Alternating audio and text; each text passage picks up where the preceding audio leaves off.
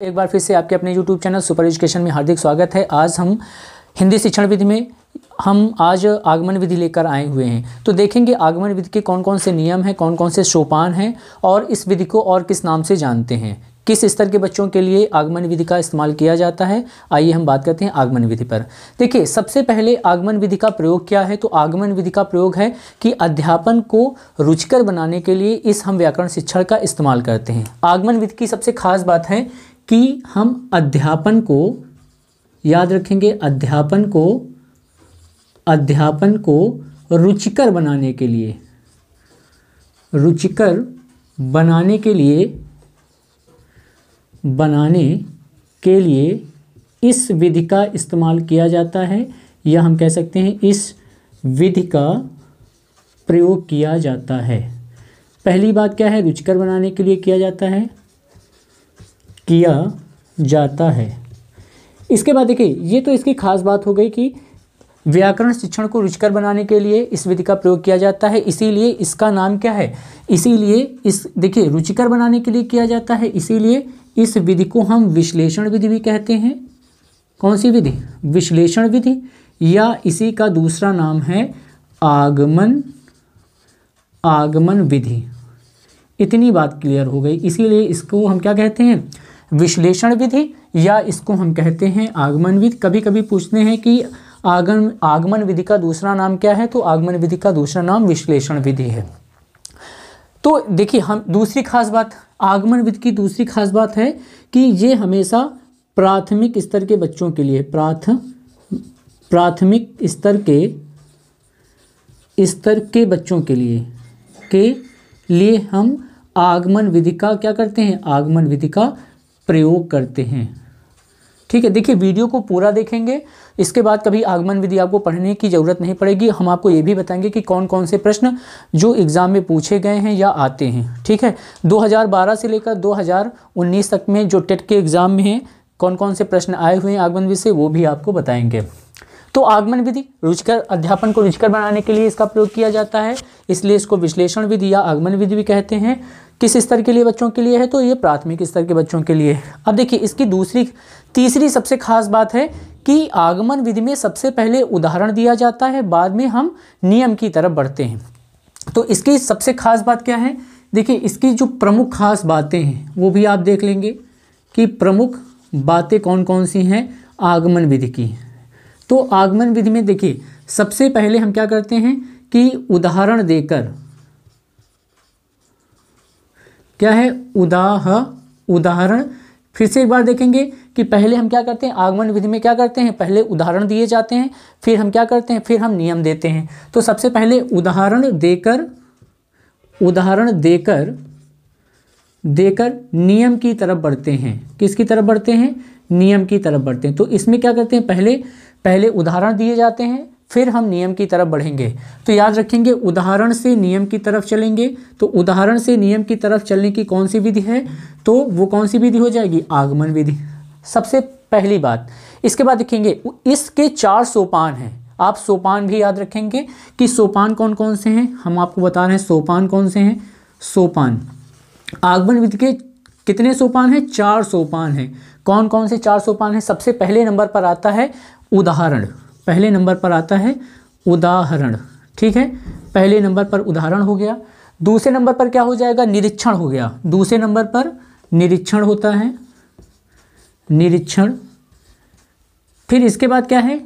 इतनी बात हो गई, इसके बाद होगा, देखिए, इसके बाद क्या है? नियम दिया जाएगा। नियम, फिर क्या होगा? फिर परीक्षण होगा। फिर परीक्षण। तो ये हो गए आपके आगमन विधि के सोपान। पहले उदाहरण उदाहरण के बाद क्या होगा? फिर निरीक्षण निरीक्षण के बाद क्या होगा? फिर नियम दिया जाएगा। नियम के बाद क्या होगा? फिर परीक्षण। ठीक है? तो ये चार सोपान हैं। तो चार, इन चार सोपानों में से सबसे पहले उदाहरण, फिर निरीक्षण, फिर नियम, फिर परीक्षण।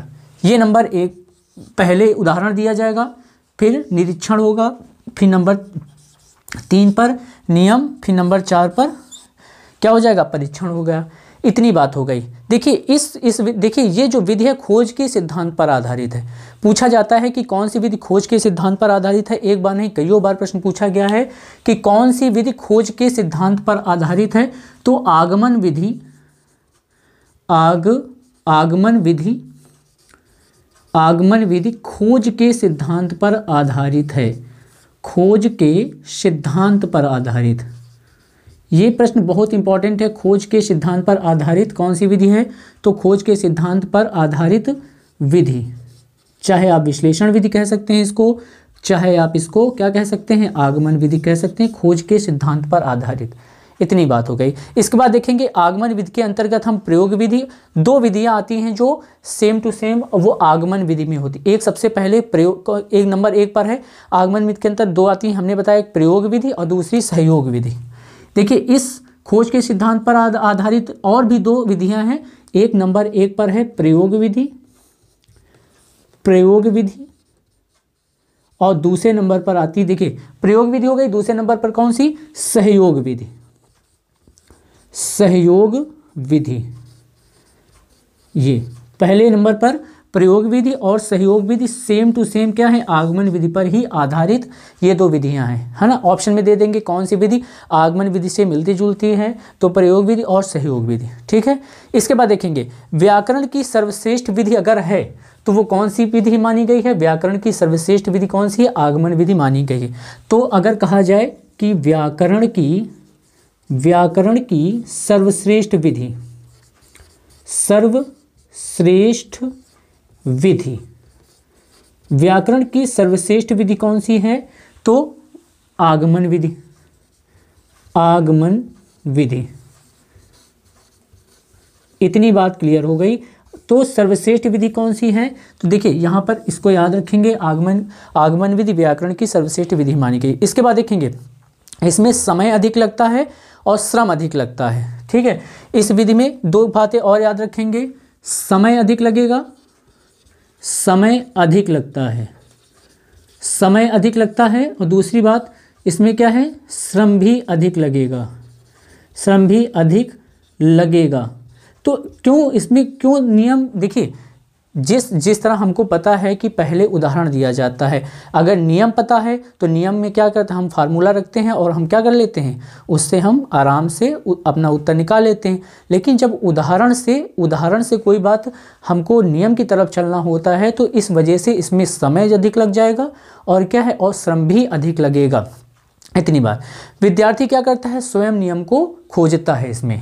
इसकी देखिए और ख़ास बातें क्या हैं? इसमें बालक क्या करेगा? इसमें बालक स्वयं, याद रखेंगे बालक स्वयं नियम नियम की खोज करेगा, नियम की जाँच करेगा, आप कह सकते हैं नियम की जाँच करेगा जाँच करेगा, ठीक है? नियम की स्वयं क्या करेगा? नियम की जाँच करेगा या स्वयं क्या करेगा? खोज करेगा, इतनी बात, ठीक है? जाँच करेगा ठीक है, नियम की जाँच करेगा और स्वयं नियम की खोज करेगा। इसके बाद देखिए, जो इसमें, इस विधि में जो बालक द्वारा जो ज्ञान जो प्राप्त होता है, वो वो बालक द्वारा जो ज्ञान होगा, वो ज्ञान हमेशा याद रखेंगे, वो स्थायी ज्ञान होगा। कैसा ज्ञान होगा? स्थायी ज्ञान होगा। ठीक है, ये तो इसकी रही कुछ खास बातें। स्थायी ज्ञान होगा। और भी कुछ महत्वपूर्ण बातें हैं, जैसे इसको हम मनोविज्ञान विधि भी कहते हैं, मनोवैज्ञानिक विधि भी कहते हैं। हम इसमें क्या करते हैं? ज्ञात से अज्ञात की ओर बढ़ते हैं। देखेंगे, ये कैसी विधि है? ये मनोवैज्ञानिक विधि। वैज्ञानिक, यह एक कैसी विधि है? मनोवैज्ञानिक विधि है। विधि है, क्यों मनोवैज्ञानिक विधि है? क्योंकि इसमें हम ज्ञात से ज्ञात से अज्ञात की ओर बढ़ते हैं। अज्ञात की ओर हम बढ़ते हैं। ठीक है? कौन सी ऐसी विधि है जो ज्ञात से अज्ञात की ओर बढ़े बढ़ने में की प्रयोग की जाती है? ज्ञात से अज्ञात की ओर। ठीक है? पहले हम किसी, कोई चीज़ हमको पता होती है, हमको नियम निकालना होता है तो ज्ञात से अज्ञात की ओर बढ़ेंगे। इसके बाद और भी कुछ है, मूर्त से अमूर्त की, क्या बोल सकते हैं? मूर्त से अमूर्त की ओर भी बोल सकते हैं हम। क्या बोल सकते हैं? कि मूर्त से अमूर्त की ओर। मूर्त से अमूर्त की ओर ठीक है? आप इसको भी याद रखेंगे मूर्त से अमूर्त की ओर बढ़ने वाली विधि कौन सी है? आगमन विधि ठीक है? इसके बाद हम देखिए स्थूल से सूक्ष्म की ओर और, और क्या कह सकते हैं? स्थूल से स्थूल से सूक्ष्म की ओर सूक्ष्म की ओर स्थूल से सूक्ष्म की ओर ठीक है, बढ़ने वाली विधि कौन सी है? स्थूल से सूक्ष्म की ओर बढ़ने वाली विधि, आगमन विधि। लास्ट है, इसमें सक्रिय छात्र क्या? विशिष्ट से सामान्य की ओर बढ़ेंगे। विशिष्ट से सामान्य की ओर। कहाँ से? विशिष्ट से सामान्य की ओर। सामान्य की ओर। विशिष्ट से सामान्य की ओर। ठीक तो ये रही आपकी आगमन विधि। इतने ही नियम हो गए। देखिए एक बार फिर से आप समझ लीजिएगा महत्वपूर्ण जो इसमें टॉपिक हैं महत्वपूर्ण जो पॉइंट हैं आप समझ लीजिएगा कि देखिए जो ये है आ, हिंदी शिक्षण की कह सकते हैं कि ये दूसरी विधि है आगमन विधि। इस विधि में देखिए यह एक मनोवैज्ञानिक विधि है। इसमें बालक क्या है तो ज्ञात से अज्ञात की ओर बढ़ता है। पहली बात मूर्त से अमूर्त की ओर बढ़ता है। ठीक है? इसमें रुचकर, अध्यापन को रुचकर बनाने के लिए क्या होता है, अध्यापक? इसमें क्या है? देखिए इसमें अध्यापन को रुचकर बनाने के लिए, ठीक है, रुचकर बनाने के लिए इस विधि का प्रयोग किया जाता है। इसीलिए इस विधि को विश्लेषण विधि या आगमन विधि कहते हैं। किस स्तर के बच्चों के लिए प्रयोग की जाती है? तो प्राथमिक स्तर के बच्चों के लिए प्रयोग की जाती है। आगमन विधि खोज के सिद्धांत पर आधारित है और दो विधियाँ ऐसी हैं जो हुबहू हैं, एक प्रयोग विधि और दूसरी सहयोग विधि। इस विधि में क्या होता है? समय अधिक लगता है, श्रम अधिक लगता है, बालक स्वयं नियम को निकालता है और ये इस, इससे जो प्राप्त ज्ञान है वो स्थायी ज्ञान होता है। ठीक है? इसकी जो प्रमुख बात हमने आपको बताई, उदाहरण से नियम की ओर चलते हैं। इसमें पहले बालक को उदाहरण दे दिया जाता है, बालक नियम की ओर स्वयं बढ़ता है। इसमें जो चार सोपान है, पहले उदाहरण दिया जाएगा, फिर निरीक्षण, फिर नियम, फिर परीक्षण किया जाएगा। तो ये रही प्रमुख खास बातें आगमन विधि की।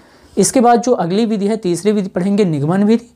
ठीक है, उसकी किस कक्षा की? वो बड़ी कक्षाओं के लिए होती है है ना? इसमें थोड़ा सा नीरसता होती है। जब जब ये विधि आपको पढ़ाई जाएगी तो बताई जाएगी। ठीक है, वीडियो पूरा देखेंगे और चैनल को ज़रूर से ज़रूर सब्सक्राइब करें। धन्यवाद।